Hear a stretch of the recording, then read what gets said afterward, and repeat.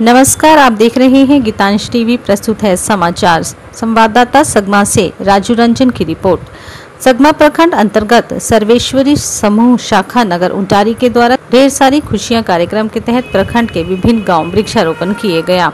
सर्वेश्वरी समूह के सदस्यों के द्वारा भैया रुद्र प्रताप देव उच्च विद्यालय सगमा राजकीय उच्चकृत मध्य विद्यालय कटहर खुर्द, विद्यालय बीआरसी भवन कटहर खुर्द, अमूर्था भारत गैस एजेंसी कटहर कला, आजीविका संस्था, संस्थान केंद्र सहित अन्य फलदार वृक्ष का पौधारोपण किया गया।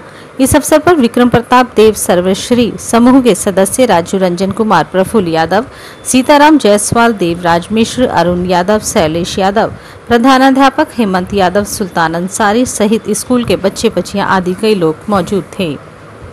धन्यवाद।